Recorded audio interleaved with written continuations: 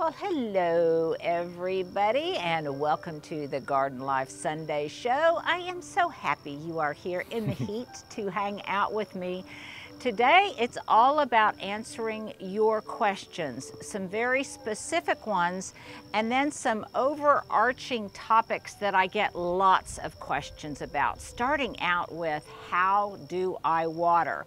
And even before this introduction is complete, Stuart, I'm going to ask my question of the day. If you have any watering tips that you want to share, because temperatures are now hitting the century mark all over the country, and if you have any water-wise tips for us, please make sure to comment below. If you are not subscribing, please make sure to hit the subscribe button, like this post, share this post. Is there anything else I'm forgetting, I think Stuart? you got it. I think we got that. Okay, so let's just get on with the show.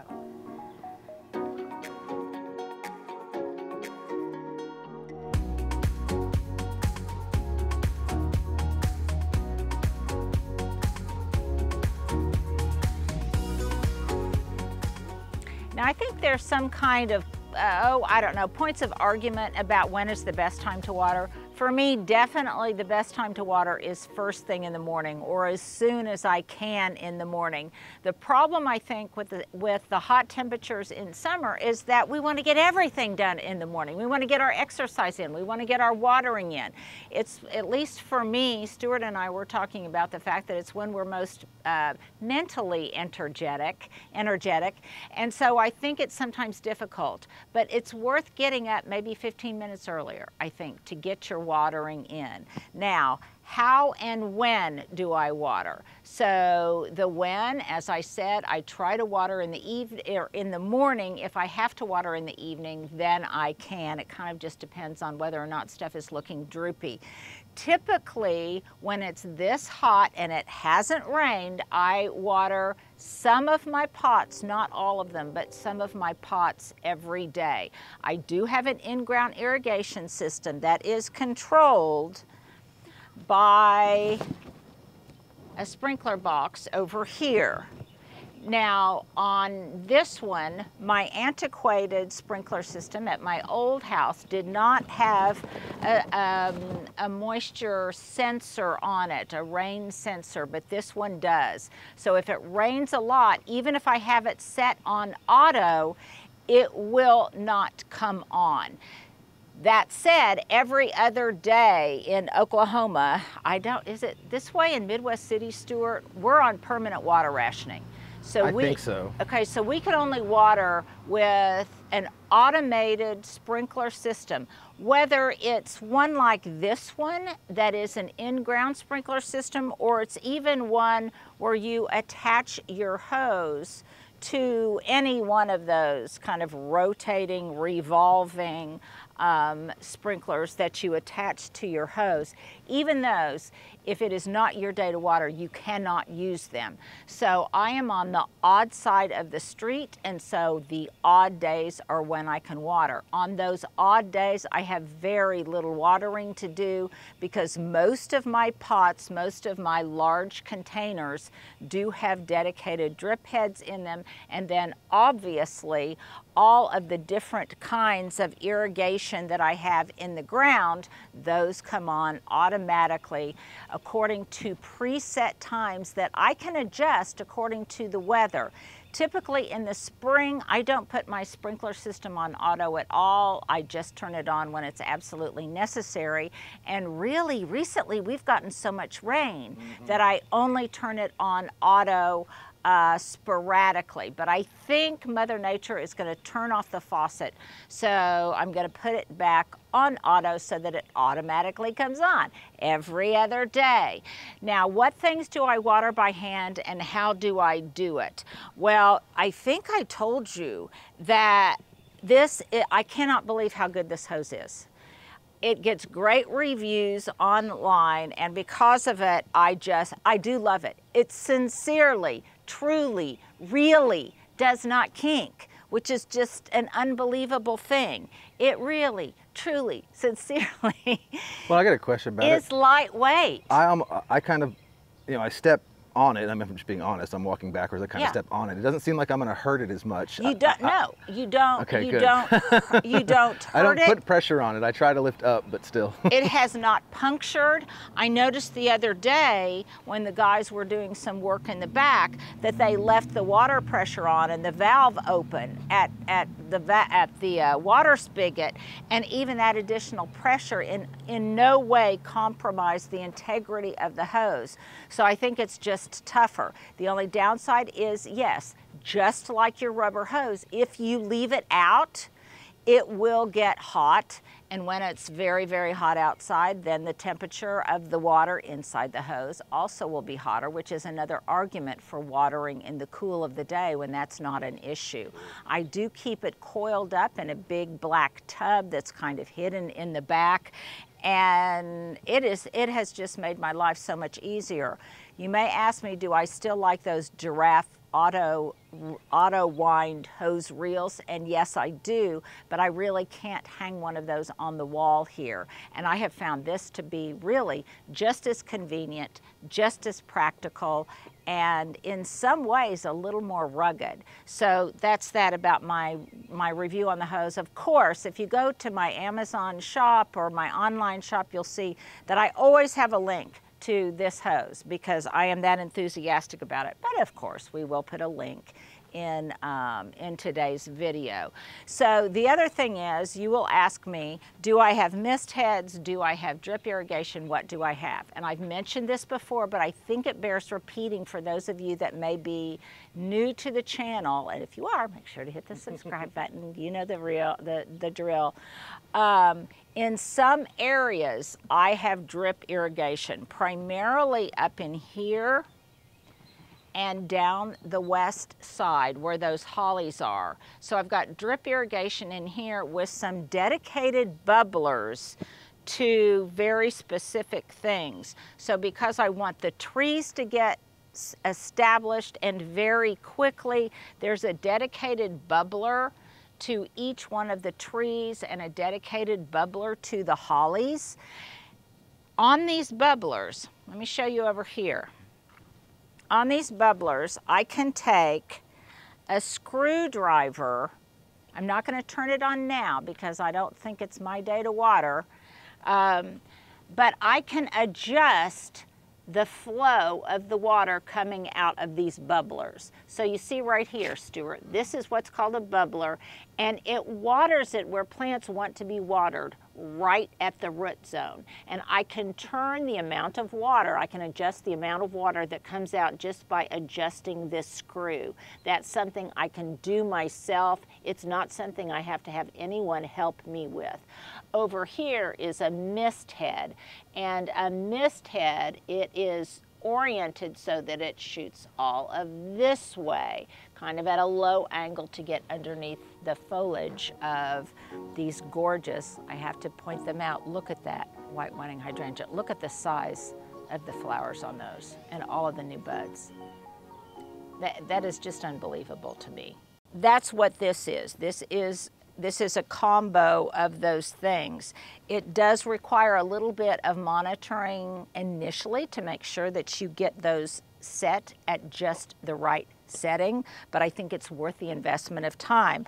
Now you'll notice in here that I have some drip line that comes up and goes into these pots. I can also adjust the setting and the amount of water that comes out of these.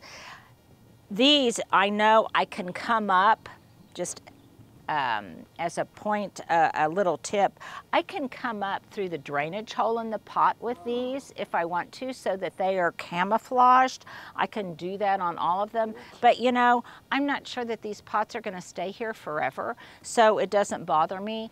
These pots are in the back of my landscape, so you really don't see these black drip lines. They are not real in your face. They're not real obvious. The other thing is, is if I am having a garden tour or something like that, where I know people will be up close and personal with my garden, I can always take these out and just hide them. So I like the flexibility of that. Um, in my other house, I did not have any kind of dedicated drip line to these larger pots, but here I do. Some of the pots, however, do not have dedicated drip lines, and those are the ones that I water pretty much on a daily basis. So these do not have drip lines. Why? Because I don't want the drip line to show. This is a very, very prominent place in the totality of my landscape. And this is a tip I remember showing Stuart. Mm -hmm. I'm kind of mm-hmm. overwatering this a little bit. Let's come over here so I can, I can demonstrate. So when you water, you don't want to water like this because all that's doing is getting the foliage wet. Again, where we want to water is at the root zone. So I make sure that I really get down to the surface of the soil in the pot. And not only do I do it in the front, I make sure that I get the guys in the back too. Because when plants and pots are as profuse and overgrown as these are, in a beautiful way, then I want to make sure that I go 360 all around the pot to get it watered. And I pretty much wait until water is starting to come out of the bottom of the pot to make sure that I am, I am getting enough very necessary moisture to the root zone. I typically, some people I know say they have to water multiple times a day, their container plantings, I don't. I just water them once a day unless it's a very tiny pot and it doesn't hold a lot of water. Now that's another tip make sure you have a large container because the larger con the container, the less frequently you will have to water. Case in point, these topiaries that I have up here on the porch. I typically do not water these every day. I haven't watered them for a while. So I'm going to do that. If I do water them at the top like this, it's because I might want to try washing off some spider mite or washing off some pests or just cleaning up the foliage if it's been particularly windy. I'm going to do the same to this one here. Excuse me.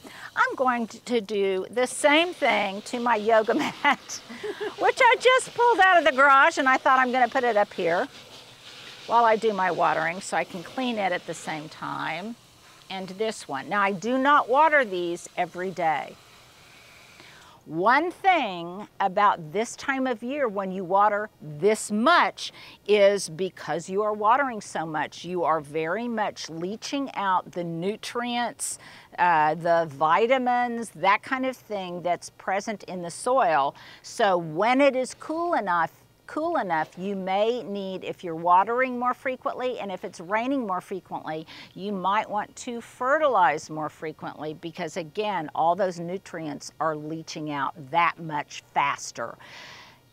This time of year, I may be watering uh, some of my really tough annual pots like those in the front urns because those flowers are really tough and can handle the heat, but things that are already stressed just by virtue of the fact that it's so hot um, and they're receiving so much sun, in that case then I will not fertilize those. Does that make sense, Stuart? It does. Okay, so let's come over here. Typically, if I were hand watering, and let's say I had an established landscape and it had not rained, and I had just planted this Cranberry Creek boxwood, which by the way, I just ordered two more of these. I am obsessed with these. Oh, that's the one. Huh? This is the one. And in fact, um, when I looked online, when somebody was giving it a review, they even mentioned uh, Linda Vater, that Linda Vater recommended it. They could improve their packaging when they ship these to you, but nevertheless, oh my goodness, they are, they are just an unbelievable deal. But I digress. Back to the point I was making. Let's say I had this was an established landscape and I had just planted this here and it had not been raining a lot. In that case, I would want to make sure that I, as I was watering my pots on a daily basis, that I also gave these newly planted specimens additional water until they get established. Pretty much anything that you plant in your landscape, if it is new to your landscape and it is summer and it is this hot, then you are going to want to make sure that you really, really keep them hydrated, not just like this, but again, down there at the root zone, and be pretty generous about the, the amount of water that you give them. I typically do not water these eugenias on a daily basis. I probably really water them well about once a week. Yes, do you have a question? Well, I have a question that maybe Uh-huh. other people are thinking, and that is how easy, is it, this might be the right way to ask it, how easy is it to overwater? Um, it can be very easy to overwater. I imagine people are, are, like myself, were afraid of that when I had a Yes, garden. okay, so this time of year, unless you have really, really poor drainage in any of your pots or in the ground, it's kind of difficult to overwater. Now you don't want to overwater because obviously that's not water wise, it's not being a good steward of, of our resources. Um, but it's kind of difficult. A sign of overwatering is if your plants start turning, say, really yellow, that means you're leaching out a lot of the nutrients, you're leaching out a lot of the iron, and you might want to hold back on the watering. Sadly, some of the signs of overwatering are the same as underwatering. So, so it is always beneficial to actually stick your finger into the soil, you know, about an inch down and just test and kind of see, and then put on your common sense hat and say, okay, is this an area that is likely to get too much or too little water? Be a sleuth. Is there a sprinkler head that's right near it? and something else is blocking it and because of that it's either getting too much or too little water. I think a lot of it is just know thy garden, know thy, uh, thy geography and the, the, the context in which you are watering and growing things and that might that might help you sometimes if i'm just absolutely not sure and i just can't come up with any clues that give me a hint as to whether or not i am watering or overwatering then sometimes i will just if it's in the heat of the summer, I will just give it a whole lot of water for a while and see if that starts to make a difference, if it puts out new growth, and if it begins to recover. So sometimes watering is as much an art as it is a science. Let us take just a moment to breathe and admire these gorgeous eugenias that are, by the way, set in the ground in the pots because this makes them more secure. They don't blow over. They actually stay hydrated longer. And I like the height at which they're growing. A lot of you have asked now, what will you put in those holes? Um, in those holes when I take them into the greenhouse. Well, I could put in another potted plant in there that was an evergreen and that was cold hardy and would then be insulated by the surrounding soil. I could not put anything in there except for tulip bulbs for next year.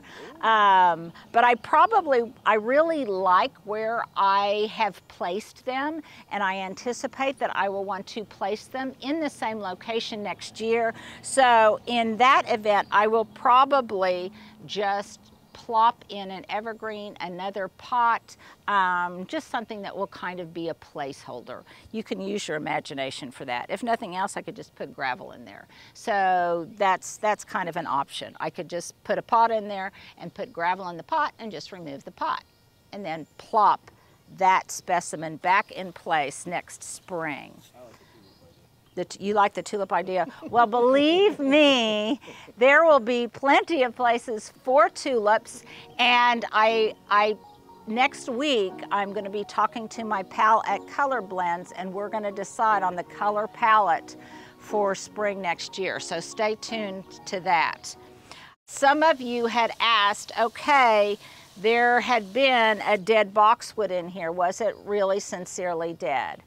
Most sincerely dead. Yes, it was. You can see that in here I also have drip irrigation and I am going to do a hopscotch with my boxwoods. So I'm going to put a larger boxwood in place here. I might even plant this one in here, put the smaller one in there. Anyhow, there's going to be, uh, yeah, yeah uh, well, it doesn't matter. I'll show that next week. But there's going to be lots of stealing from Peter to pay Paul.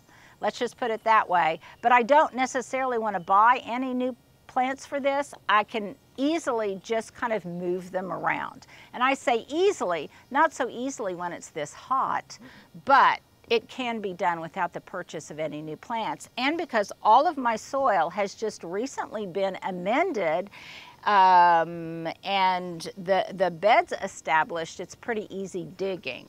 So that was, that was one of the ones that I dug up and took from the old house. So the fact that it didn't make it is not too surprising. But look at this guy back here. This guy back here did make it. Pretty happy. And there's a big old weed coming up right in the middle. Which then is a good transition to my window box, which I just, I know some of you were skeptical, but I promise, even even I did not think it would turn out this beautiful. And even I did not think that these plants would be able to handle this exposure as well as they have. But I just, I love the way it looks. I love the fact that yes, it is both a mini, elegant, and edible landscape. And by the way, if you guys haven't listened to it, um, along with Jennifer Jewell, I did a podcast on cultivating place uh, on an NPR station or PBS station. And we had such a good conversation, and she was asking me what constitutes an elegant and edible garden. So, to get that answer, then you probably want to listen to that. So, I. Good tease, yes, yes, yes. And I, I and- want to go listen to it now. uh, uh, yeah, yes. And Jennifer does such a great job, just in general, with her podcast. You want to make sure to listen to her podcast. And oh yes, absolutely. We will put a link. If we don't, you guys will will say, Linda, you didn't put a link. Um, this window box, I fertilize. I just knocked something over. Just knocked something over. Um, I fertilize very heavily because this I water every single day, even though it has dedicated drip lines to it. Because of its expanse, sometimes the ends don't get as much moisture as they should, and I really, really water this a lot. But I am so rewarded by this, by all of these fun sun gold tomatoes. And won't they be fun when they're oh, suspended up here? It's almost even climbing along the cottage wall. Won't that be fun when those turn into Oh yeah. into tomatoes? And look at all these peppers. I mean, look at all of those peppers. I know I've showed them to you before, but I'm such a proud mama, I have to show you them again. Well, these are new peppers, so they're different. Yeah, these are new peppers. Yes, it's a different garden every day. That's right. It is a different garden every single day. Um, the pot I have to water the most is this scaevola right here. I don't know why. It's probably because if you'll notice, it's a, about the size of the urns. It's a little bit smaller, and because of that, I do have to water it every day. I do not necessarily, yeah, isn't it gorgeous? Yeah, I couldn't see it, so I got down. and it's such a heat lover. So it just keeps pumping out these gorgeous, it's also called fan flower, and it just keeps pumping out these blooms over and over again. And they just then, I think, harmonize beautifully with the scaevola that's in the window box.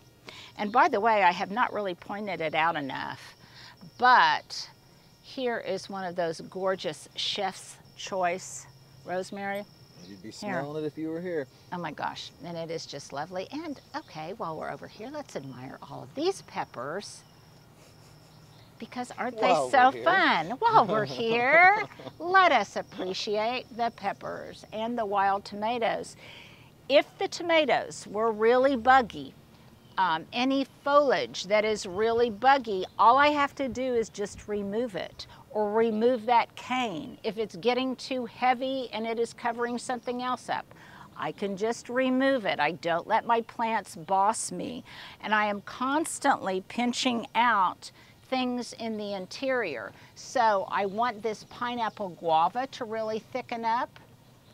So I am really pinching out. See, let's, let's do that again. Pinch, I'm, yeah, I'm pinching right here in between the two leaves and I'm pinching right there. And what's it gonna do? And it is going to make it bushier. It's going to thicken it up.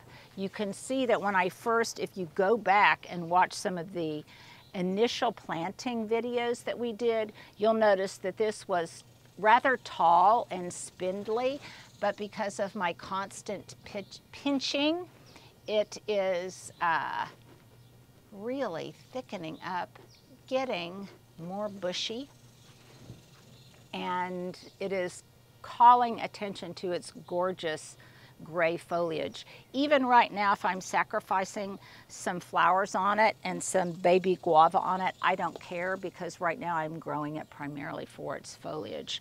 And then these over here, like these large boxwoods, uh, these large boxwoods, I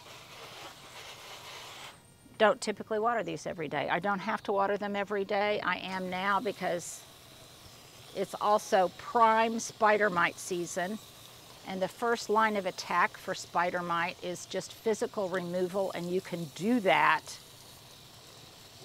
You can do that with water. The other thing is, did you hear them just go, ah? because it's already getting hot out. Look at these. What was that? The butterfly. It was pretty. Oh, butterfly a butterfly intervention, mm-hmm. um, interruption. These down here, these are some of those foxglove I was telling you about. Gail, if you're watching this, Gail is my buddy up in Enid, gardener extraordinaire that gifted me with all of the cleome and the celosia seeds, and I'm saving lots of seed. And foxglove starts for her absolutely incredible cottage garden. This scented geranium from my friend Monica. We need to get Monica yes. back on. We haven't seen, she moved too, so we've all been busy. But I do water this every day. And then let's, let's look at how much more full this Eugenia is than it was last time.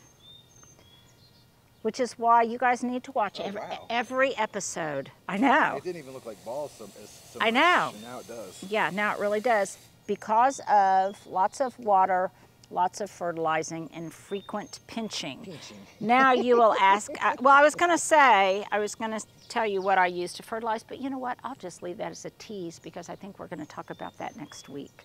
So I just keep pinching this, and before you know it, these spheres will be every bit as large as the other ones.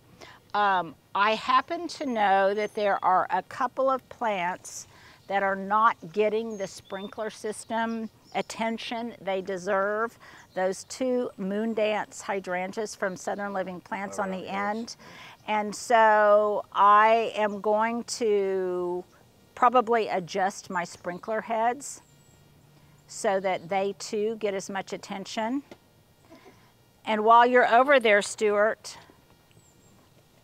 look at the new concrete pad that I have there that they haven't put the sealer on it yet, but that was previously cracked. And in short order, it, it will begin to, as it ages, it will begin to match the rest of it. But it is no longer treacherous, at least from the crack in the sidewalk. More Stand boy. Well, there's always treacherousness. Is that a word? Probably not. Well, we just made one up. Okay, let's go out here.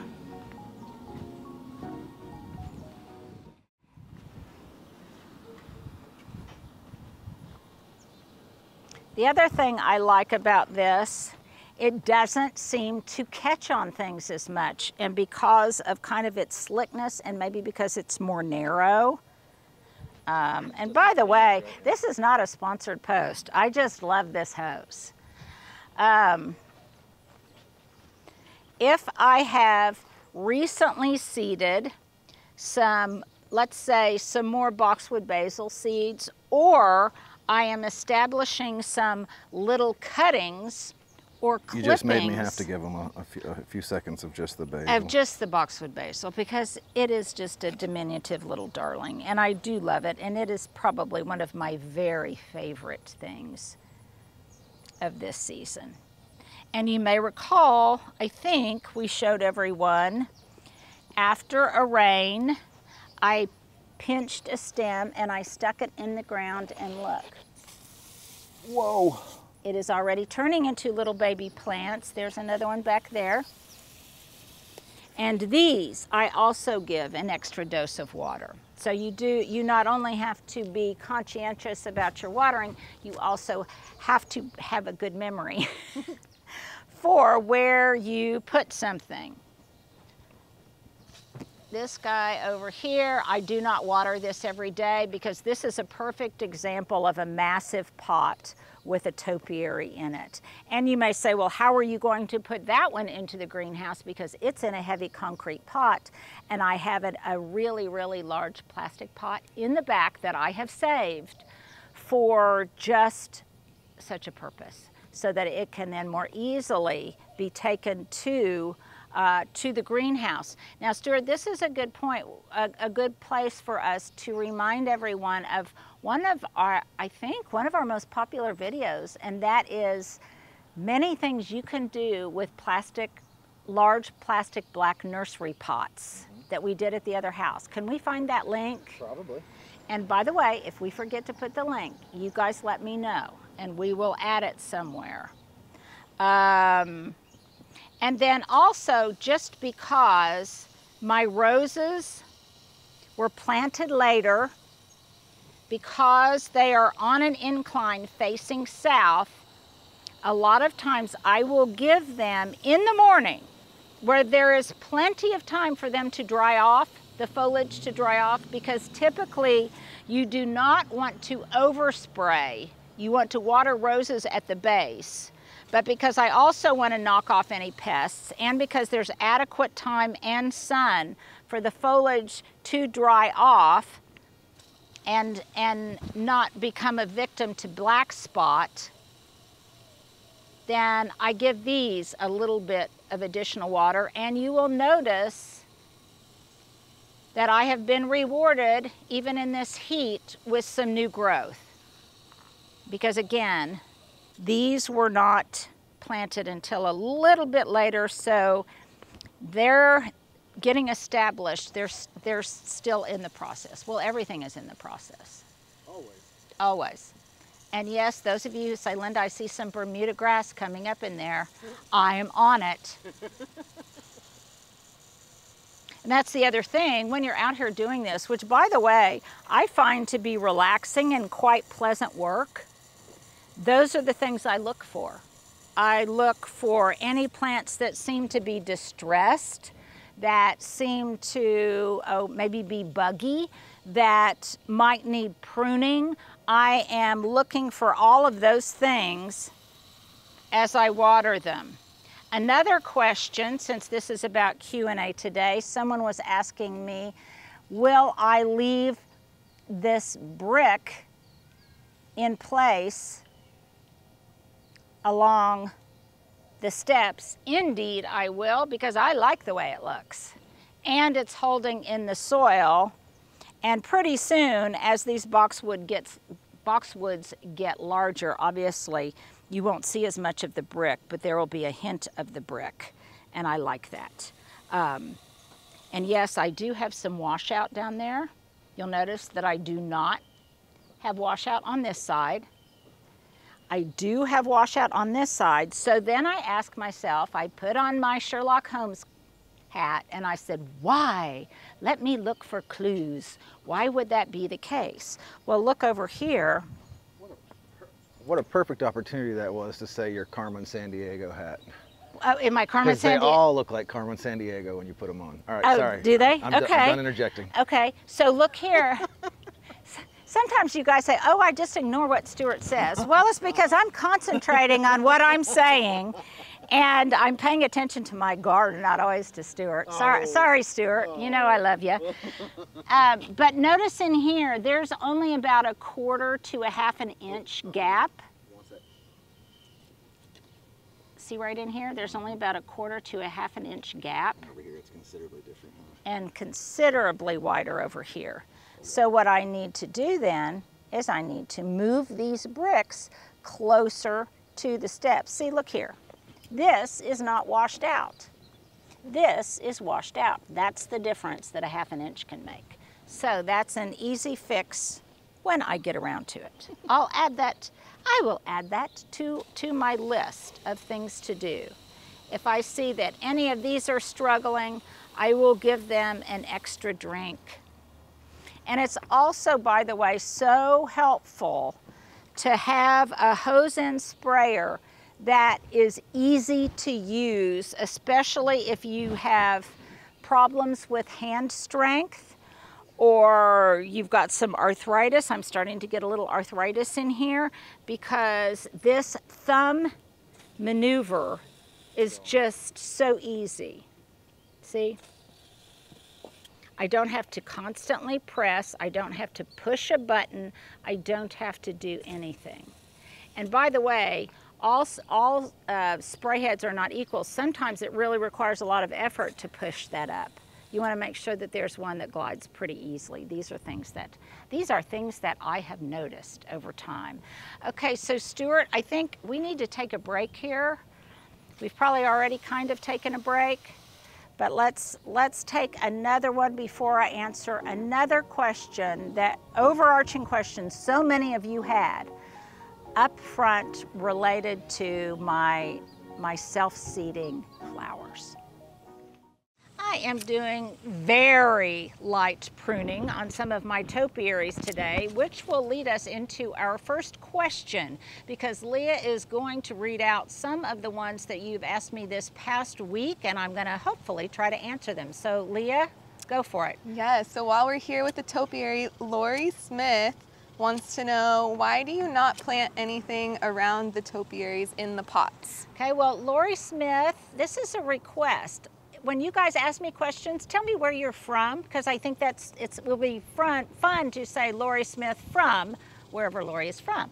Um, I sometimes do, and I have in the past, but increasingly I find that I like to keep them just with nothing but mulch on the bottom. And that's for a number of different reasons. One, because I think it makes the topiary itself look a little less busy, a little more pure in terms of being able to see the architecture of the branching of the trunk and it makes them seem a little bit more statuesque and taller.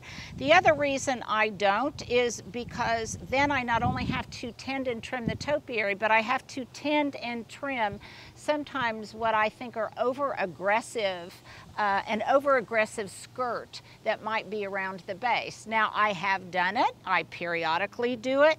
In some cases, and I think I talked about this in the last Wednesday walkabout, sometimes things will go to seed in it and in this case, this Eugenia that I'm pruning very lightly on has some columbine that has gone to seed at the base of it. Not so much because I really want it to grow and bloom here, but because it went to seed and then later I can transplant it someplace else. So that's kind of my thinking. I am not an absolutist on it. I sometimes do and I sometimes don't. Uh, but increasingly I find I like it to look no, just a little bit simpler. Okay, okay, Leah, what's my next question? Susan Mason wants to know, what are your thoughts on using shade cloth to protect some of your plants during the heat of the day?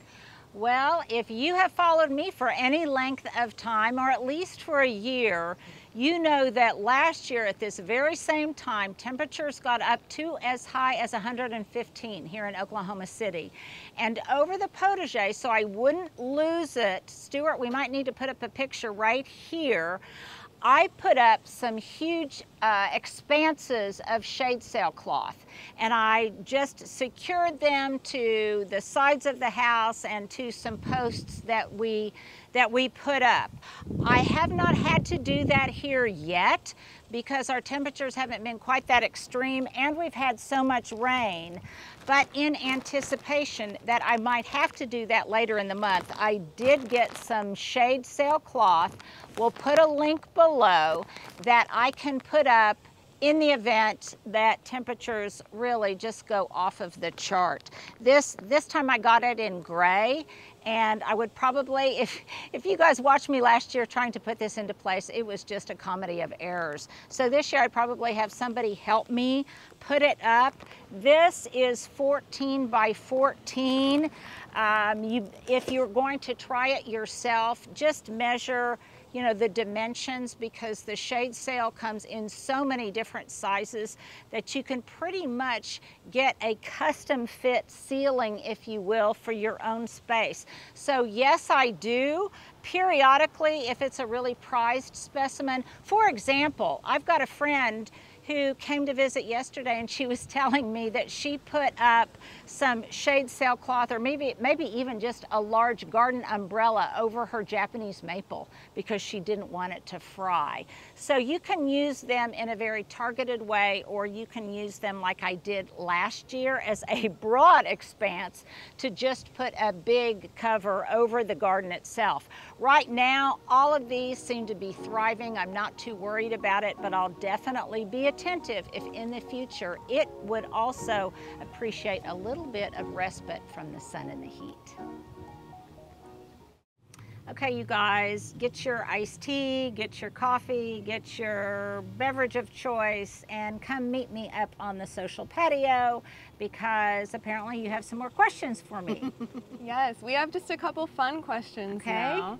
First one, uh, Charlene is wondering if the people that you bought the house from have been back to see what you have done and if oh. they have any questions or comments oh. about it. I think I talked about this when we first moved into the cottage, but the the cottage previously, its former owner was actually an, an older woman who lived here a number of years ago, and she was, I think, in her 90s, and uh, they there were two people that I do I do know. I found out that I did know them um, when I came to a house showing, an open house, and they bought the house from this woman basically to flip, and so they completely redid the entirety of the inside so they knew what had been done but interestingly i'm not sure about the older woman. I don't i don't know if she's even still alive. I think she may have passed. Uh, but the two women who flipped the house interestingly i have run into them at different events. I think uh, one of them was at a garden club. One of them was at an art show. And they were all over and they drive by periodically to look at the gardens and they already knew what I was going to do. They kind of knew what my shtick was, that I was a garden designer.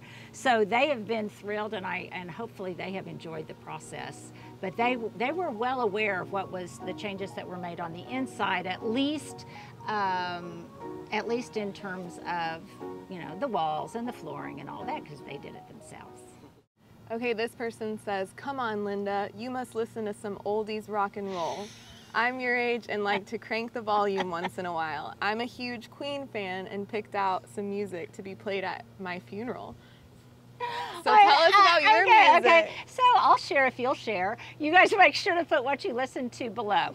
I, I well, Stuart knows that I always I don't watch a lot of TV, so I always have music going though I wouldn't say that I'm any kind of music connoisseur. That would be for Stuart and Leah. Uh, okay, obviously, the, the no-brainer answer is I love the Beatles, and so I listen to the Beatles. I listen to uh, Phil Collins. I was once asked out by Phil Collins, uh, somebody who worked for Phil Collins. Oh, he was a, he was a friend of a friend of mine in Dallas. Yeah, I know. Who knew? uh, let's see. I I love um, I don't know if he's rock and roll, but I love Leonard Cohen. Oh, yeah. I, I love uh, k.d. lang, I guess, isn't really rock and roll. roll. I love Bruce Springsteen, Elton John, Billy Joel. Uh, come on, we need to throw some women in there. Oh, women. Uh, we need some, yeah, Oh, some women. gals. Mitchell kinda- Oh, Stevie Nicks. Oh yeah, Stevie Nicks. Oh, Stevie Nicks. Yeah, see, that's that's the music. Some of that that I want to play at my funeral. Oh my Mm-hmm. gosh, Stevie Nicks. Love love her. Um, and what do I actually listen to? Mm-hmm. I, I listen to all of those. I I love. I listen um, frequently. I love to listen to the Johnny Cash radio Love. on Pandora. I love Patsy Cline. I love, um, I listen to lots of piano music. I love uh, Claude Debussy. I'm sure I'm butchering that pronunciation. I love relaxing piano music. There's always piano music. There's always piano. Walk Uh, yeah, house. Yes, there always is. It's what I it's what I work by. I love meditative spa Mm-hmm. music. Sometimes I like to listen to stuff like Gregorian chants. Mm. Uh, what other music do I listen to? You guys are at my house all the time. Yeah, I love Celtic music. Love. Um, I love Mumford and Sons. Um, Black Eyed Peas. Who else do I love? Um, Wu-Tang Clan. and then sometimes there's music that I don't even know who they are. I just I just like them. the and yes. You yeah, like the and, and periodically I, I okay. So as long as we're being vulnerable and sharing, if you would have been at my house on the Fourth of July. I put on the soundtrack to Hamilton. Love. And I was just dancing around in my kitchen to the soundtrack So of good. Hamilton. I loved it. I love I love to put on Broadway Me too. tunes. Um, uh, yeah, so so I will listen to pretty much anything. I, I guess I'm not into heavy metal too much, um, but I anyhow I, I I love it all. It really depends on, on my mood. But but hell yeah, hell yeah, I do listen to other things besides piano music. There's the answer to that question. You guys share share your favorite tunes and some of your favorite uh, Spotify stations and things like that. Make sure to share that below. Okay, Linda. Last question is from me. Where is that cute apron dress from? Because Okay, I know people are going to be Yeah, asking. You're going to ask. Okay. So I'm a gal that periodically likes to dress like I don't know what would I call this a farm girl Yeah. or whatever because especially when it's 115 degrees out when it's very very hot and I like aprons. You guys know that I like aprons, work aprons, and isn't this one cute, Leah? I love it. Isn't this cute? It's got this eyelet or what what do you call that? Mm-hmm. Cut out eyelet work on it, and it, it has pockets. You know, Cute. it has pockets. So so I like it. And then you guys also, if you followed for any length of time, I don't know if you know this about me, Leah, but I love house dresses. Love. And so this is just a house dress that you guys probably recognize if you've watched me for any length of time because uh, I like to wear these. To me, these are the liminal kind of clothing that you put on after you've worked out. You're not really going to be going out. You're just going to be in the house, and you don't necessarily want to be in your workout clothes or your leggings or whatever. Um, so this is just loose, comfortable, very practical attire, attire for uh, anyone who is the chatelaine of their own home. I love it. Well, I am no doubt starting to glisten because it's very humid out here. A lot of you have expressed concern, so this is kind of like a collective question, or I'm answering them all, about, oh my goodness, you are going to really regret all of these self-seeders when they go to seed if you don't deadhead all of them and they self-seed in place. Well, I was discussing this with our buddy Roger yesterday, and he said, first of all, his philosophy was, I would much rather just edit out things that had gone to seed by just sloughing them off at the surface than I would by having to get them reestablished from year to year. The other thing is, if you don't let some of them go to seed and do their thing, then you prevent surprises from the best designer of all, Mother Nature. So originally, I thought that I had just dedicated, for example, this Cleome just to this spot right here. But apparently, I had also sprinkled some over there by Anne because they came up over there too. And I think the beauty of my garden would not nearly be as magnificent if this cleome and its fun waving heads didn't extend over there to the east and kind of surrounding the patio. So the other thing is a lot of the seed that will drop um, it will drop and then eventually be covered up by some of the perennials and things that are growing around it. For example, this sunshine ligustrum, which will shade them out and make them less vigorous which will make them easier to pull out or they will not germinate at all. So I then asked my friend Gail, who gifted me with all of this seed, what she does, and hers is a massive cottage garden in the back. She pretty much just lets hers go to seed. And I am going to do, since I am not an absolutist to any extreme. I will probably do some judicious deadheading and I will also let some of it scamper. Now, I will probably get lots of you who think differently. Um, but that's where I say, you do you and I'll do me. And if it is an onerous task for you to remove lots of seedlings later, then by all means deadhead them. But I don't want to deadhead these right now, even though some of the seed heads are drying, because they just look so gorgeous. And, it's, and it breaks my heart. So, and the pollinators just adore them. It's very busy up here on the upper terrace. Well, here is the in-process reveal of the back steps that I promised to show you. There's more work to be done on them, but I think you really have an idea of what they are going to be like when they are absolutely finished. We're going to face them in brick. The risers will uh, will be brick, and I don't know. I just think they're pretty spectacular, and they're not even finished yet. And I told Hubs, I said, oh, these are so much easier to get up and down because the, the rise is so much shorter. And he said, oh, and I can already see them with lots of pots in my way.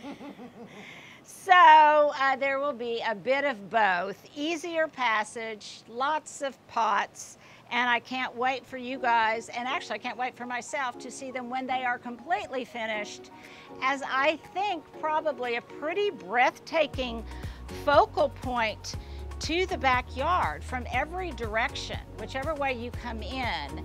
And yes, do I, do I kind of feel a little bit like Scarlett O'Hara coming down the staircase?